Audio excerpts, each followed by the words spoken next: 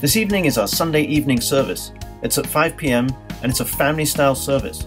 You can worship together as a family, take communion together, and tonight there'll be a message about loving your enemies, and we'll be using St. Patrick as an example. We hope to see you tonight, 5 p.m. It's that time again, and it's men's breakfast on March 9th. Coffee is ready at 7.30, and then we'll eat at 8 o'clock. And this month we'll be hearing from Doug Cockrell. He runs the Abundant Life Ranch out in Sanger. This is a horse ministry, and it has been a positive effect on so many lives. Come and hear about his and his wife's ministry and eat a great breakfast. See you then.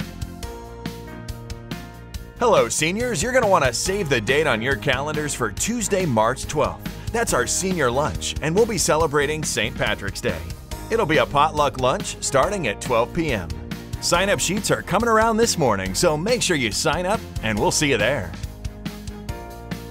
Join us for a churchwide meeting today at 12:30 in the sanctuary. Hope to see you all there.